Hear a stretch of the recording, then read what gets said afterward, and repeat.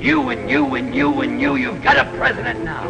He gave the land a new deal. You hold the cards, now you deal. You and you and you and you put shoulders to the plow. He gave us what we asked for, now pay him back somehow.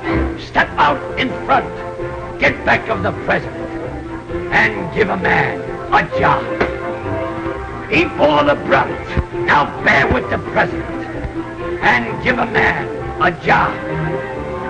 If the old name of Roosevelt makes the old heart throb, you take this message straight from the president and give a man a job.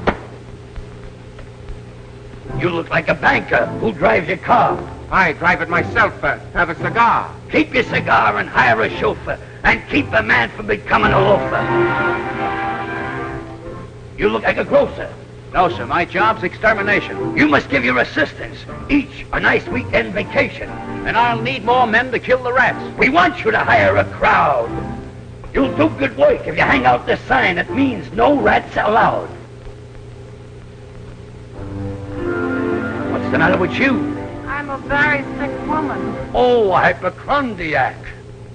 You must get a doctor for pneumonia, a doctor for insomnia, one for osmosis, and two for halitosis, one for anemia, and one for eczema, neuritis, bronchitis, phlebitis, St.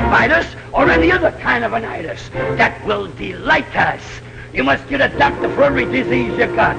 In that way, it'll give you lots of enjoyment. And in that way, madam, you will help to end unemployment. Now listen to me, everybody. Step out in front. Get back at the, get back at the president and give a man a job. You know he bore the brunt. You know that. I know it. So step out and give a man a job.